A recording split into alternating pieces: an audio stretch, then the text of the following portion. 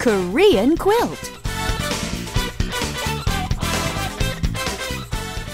Hello, everyone. It's time for. Korean quilt. Hey, Richard, did you know that there are hundreds of greetings and parting expressions in Korean? Well, uh, yeah, actually, I did. It's part of the culture, and it's just considered good manners to always announce one's arrival or one's departure, and also to acknowledge someone's coming and going. So, for today's expression, we're going to learn a very useful phrase to say when you are leaving.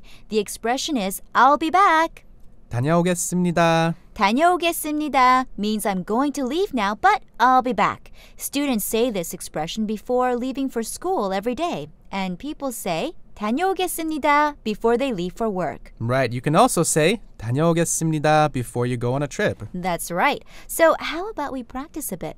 Okay, Anna, I'm off to India for a couple of weeks, but I'll be back. 다녀오겠습니다. Ah, have a good time.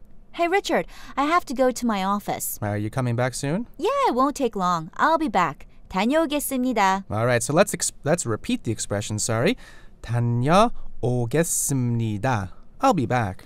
다녀오겠습니다. Or a little more naturally, 다녀오겠습니다. 다녀오겠습니다. I'll be back.